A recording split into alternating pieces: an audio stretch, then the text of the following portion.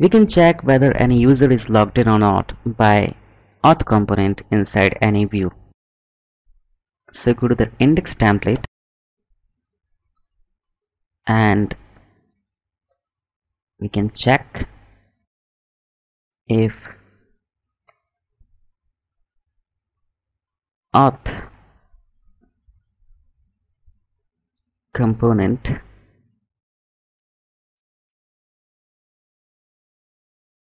user. So if the user is logged in then we want to show this link. And if not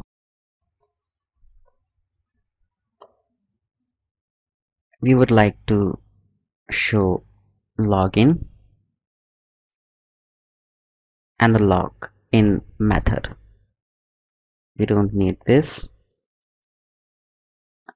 enter PHP and refresh.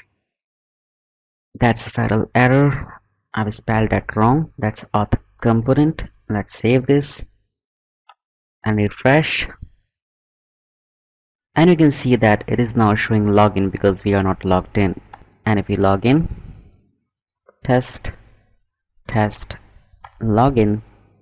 And now that shows the logout link so this is how login and logout work in Cake PHP but we have to make further functionality like only admins can set any topic whether it is visible or not and many other things. So we do that in next movie